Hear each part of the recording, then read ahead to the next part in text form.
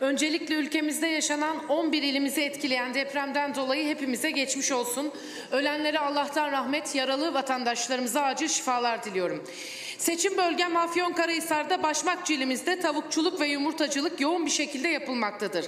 Ancak 31 Ocak itibariyle bu ilçemizde görülen kuş gribi nedeniyle bölgede karantina başlamış 4,5 milyon kanatlı hayvan ham madde, yem, viyol, yumurta itlaf edilmiştir. Yumurta sektörü milyonlarca lira zarardadır. Yumurtacılar zararlarının tümünün karşılanmasını beklemektedir.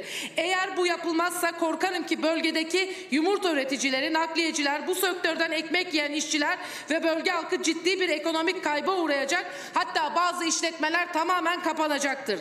İşçiler işsiz kaldığı için başka yerlere göç edecek, bölge zarar görecektir. Bunun için ivedilikle bir an önce zararın tümünün karşılanması gerekmektedir.